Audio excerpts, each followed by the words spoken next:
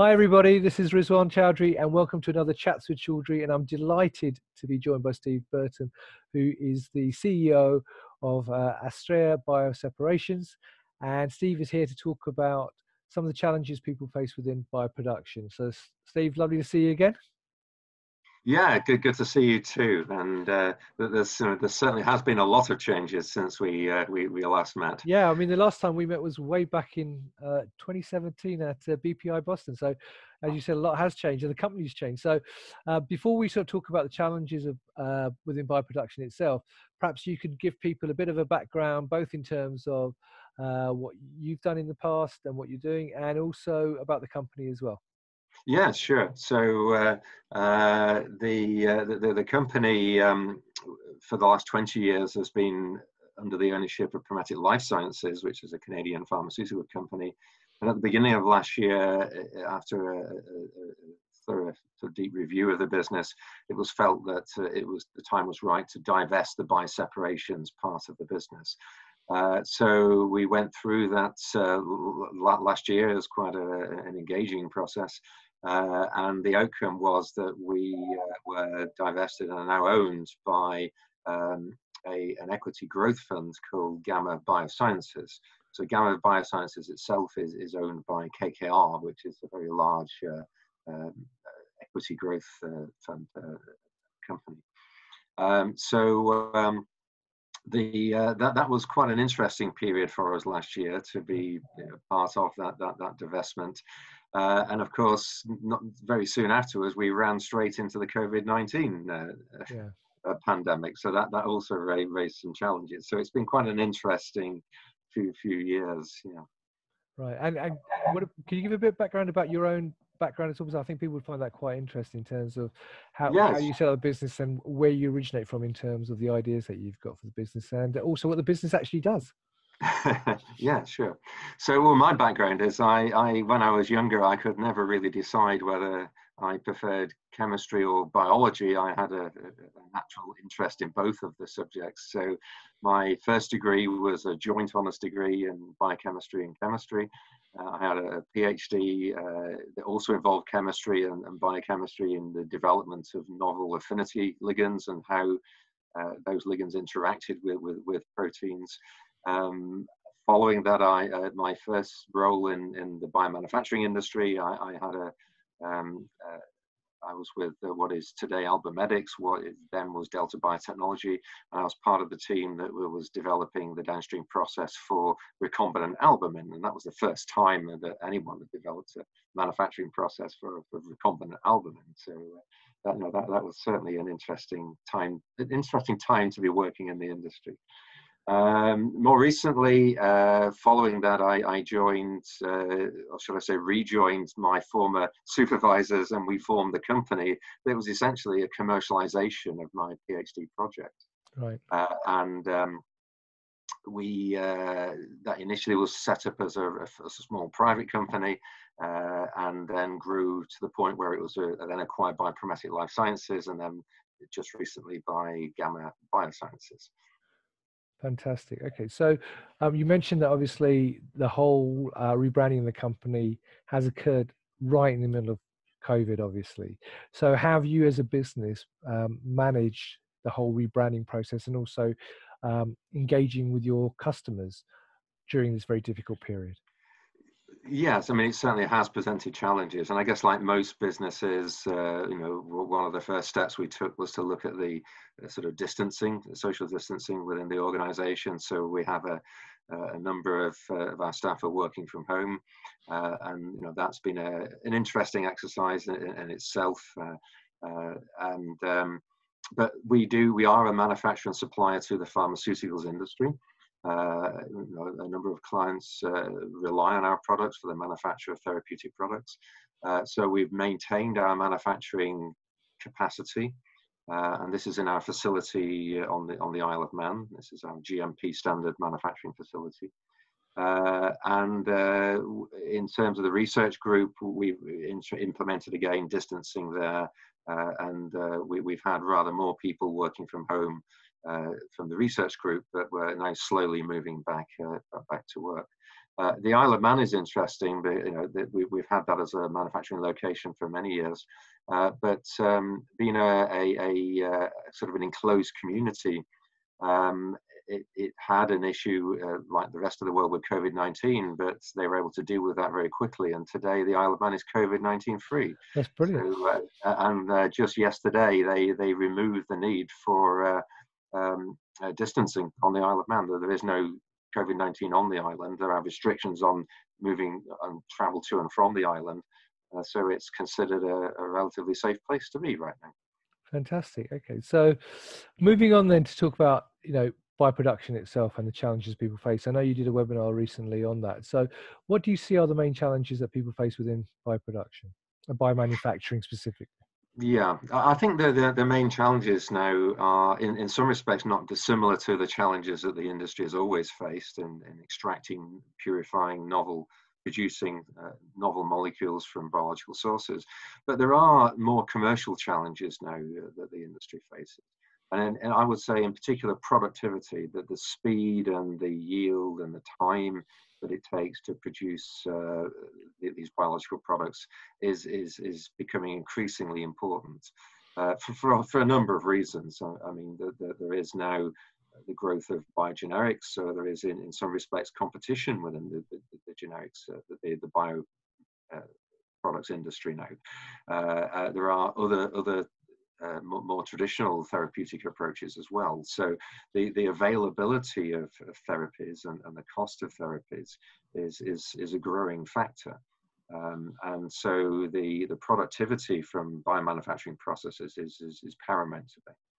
So how have Astrea actually addressed those challenges for its customers? Well, we, we we've been addressing those challenges in, in a number of in a number of ways. So in in in as you might be aware, there, there has been a growth of uh, the use of uh, things like disposable chromatography columns and well, disposables in, in, in general uh, to uh, speed up uh, the, the manufacturing process, not just the individual steps themselves, but the, the, the process overall. Mm-hmm. Uh, so in the context of continuous processing now, where a more holistic view is taken of the manufacturing processes, the, there are you know, definitely um, time savings and yield savings that are possible there. Uh, and uh, column chromatography forms a part of that. So having a disposable column, for example, um, uh, is, is pre-packed. So uh, not so long ago, chromatography columns were uh, you know, re, reused and repacked many, many times. And there is time involved in doing that, the, the packing, the qualification of the columns before they can be used in processing. Uh, so now the, there's a, a, rapidly growing demand, and we are a part of this as well. We, we supply uh, ready pack columns, GMP ready columns. Uh, to the to the industry, so that they can be used rather like a filter. They can be uh, sort of used, you know, installed in processes and used straight away, uh, not having to go through the same packing and qualification uh, processes. Uh, and then at the end, the, those columns, columns can be relatively quickly changed out and a new column put in place and right. uh, manufacturing continues. So that's a big saving of, of, time. There are other savings of time here outside of equipment. Uh, and that is in terms of the, the, the types of processes that are introduced, both upstream and downstream. Now, in the downstream area, uh, I think Protein A has really emphasized the benefits of a, an affinity capture step right. up front in a process. So that that's really given many advantages. And one of the reasons why monoclonal antibodies has been so successful is the development of this protein A purification platform that's usable for many different uh, antibody products. Um, and the, the real advantage with these with these types of materials, these affinity capture materials, is it produces a very high level of purity in one single operation. Right. And the remaining steps are relatively straightforward polishing steps. So the, the advantage of that is one, it, it's a reduction of time. Uh, and secondly, it's an increasing yield because every step that's performed, there are process losses. Right. And by reducing those losses, by reducing the number of steps, the yield increases. So there's a, a, a, a, a dual benefit for, right. for this, this type of approach. Now, protein A is well established for antibodies, but of course, the industry now is looking at other targets, and this is a, you know particularly in the cell and gene therapy area. Uh, and uh, as often happens, you know, downstream technologies tend to lag the upstream. Right. And um, there is now a need for improved processing materials, uh, purification materials, affinity adsorbents for other targets that are not antibodies, that right. are viral vectors, for example, that are other types of proteins. Uh, and so the, the ability to develop these materials and, and provide them at scale to the industry is, is very important now.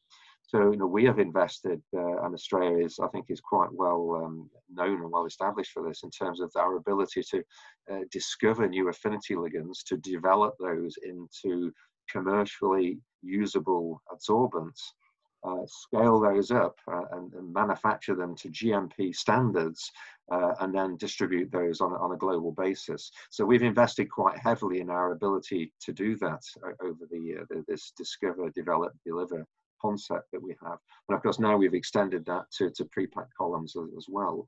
Uh, and one thing to note about this, um, there are many different ligand platforms uh, today.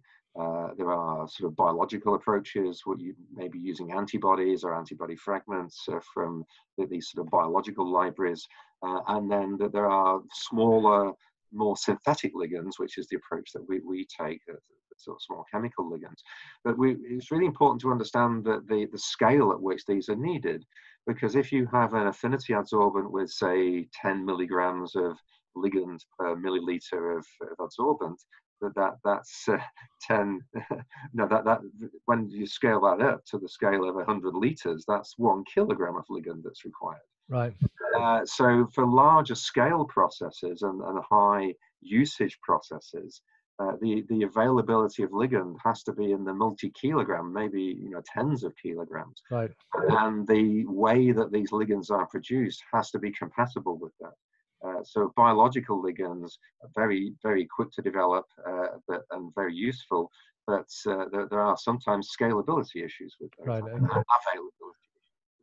and that's very important as well. So we've addressed some of those uh, shortcomings too. That's really interesting. So so one final question. So you mentioned the whole process that you go through. On average, how long would that take, or is that very dependent on the project that you're working on? It is dependent on the project. I mean, the, the, the, process that we use is, is not dissimilar to small molecule drug discovery. So we use a combination of computational chemistry and high throughput screening. Right. Uh, but we, we would normally expect to find binding ligands uh, within a, matter of weeks, uh, right. up to you know, nine to 12 weeks. Um, the screening that we do, the ligands are already attached onto a chromatographic support when we do the screening. So that means uh, providing small quantities of that material for uh, external assessment you know, by, by clients, for example. We can do that very quickly. Uh, but we also know that the ligand works when it's attached to a chromatographic support. So in terms of scale up, that's become very straightforward and very easy. Right. Uh, just make more of it, basically. And, and, we have a very worked, well worked out way of, of doing that, scaling up.